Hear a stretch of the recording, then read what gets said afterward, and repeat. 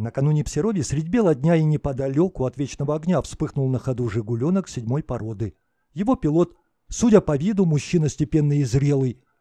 Позже в комментариях признался, что поначалу он надеялся в одиночку потушить пламя, рвущееся из-под капота. Выхватил из багажника огнетушитель, пшикнул из него разок-другой, опустошил до дна. Но огонь погасить так и не смог. Прохожие помогли, вызвали пожарных.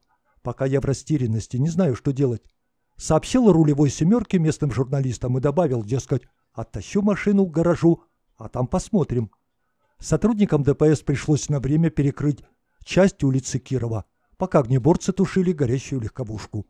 Дознаватель успел поковыряться в подкапоте «Жигуленка», выясняя, из-за чего же из искры пламя возгорелось.